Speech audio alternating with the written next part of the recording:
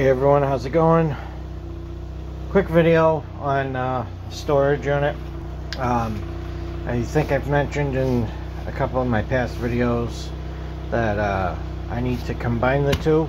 So this is just kind of showing you how it's going. Okay, so this shelf is still full of shit, but like some of it's come out, other stuff's just been thrown there. Uh, that container there is kind of a catch-all. This one here is waiting for me to uh, find something to put in it. I'm gonna. I, I don't think that stuff will fit, but um, I did put.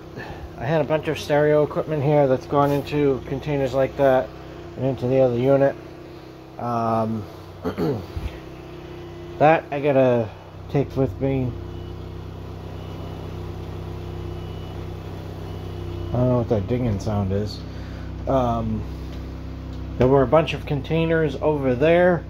I've gotten a lot of those moved over. I've got most of the shelving moved over. Some of it's in the truck. That's why I have it over here because I'm going to load more into it. Um, this little table, I have to list this for sale. That little table, I have to list that for sale. Um, this, this is my bed frame for camping. I gotta take it apart. And strap all that bedding stuff to it.